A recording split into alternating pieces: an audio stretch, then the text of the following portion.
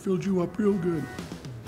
Hello, I'm Mike Lindell, inventor of My Pillow, with an exciting new invention, just in time for the non-Jewish holidays. The Mike Lindell. It's soft and squishy, and it can talk non-stop for 96 hours straight, just like me. I eat all my meals from vending machines. Darn tootin'. Imagine the smiles on the kiddies' faces when they race to the living room on our Lord Jesus' birthday to find a pair of these little fellers right under the tree. Mike Lindell is my favorite pillow man. Mike Lindell is my new dad. The liberal war on Christmas is being funded by homosexual bitcoins. The deep state put a microchip up my toot chute.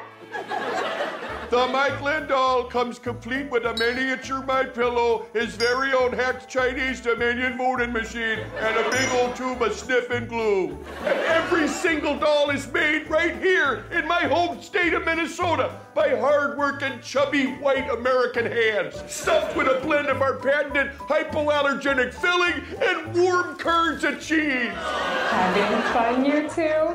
Mike Lindell says libs want to make me a transgender. They do. Don't wait! Order now! Because we made 10 million of these suckers, and if we don't sell them soon, I'll be back behind the Jamba Juice fighting raccoons for food.